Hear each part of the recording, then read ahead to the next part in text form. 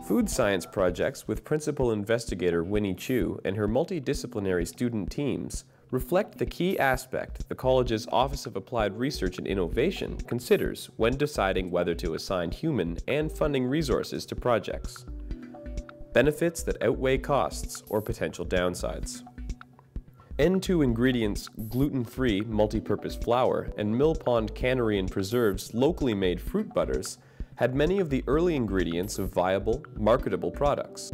Committed industry partners with developed business plans and some market analysis, later supported by college student researchers.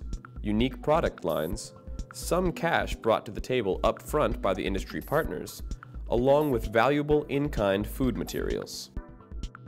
For the so-named Brunch Project, Chiu and the team developed a range of recipe options for people whose sense of taste or ability to digest nutrients has been damaged by gastrointestinal cancer and chemotherapy.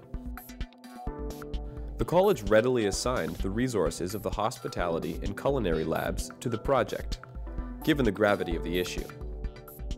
The ongoing project also builds on Chiu's ability as a food scientist culinary students' motivation to improve nutrition for cancer survivors, and the University Health Network's commitment of lab resources at Toronto General Hospital for recipe demonstrations. This project is social innovation meets quality of life, and there may even be a commercial result down the road for a cancer survivor recipe publication.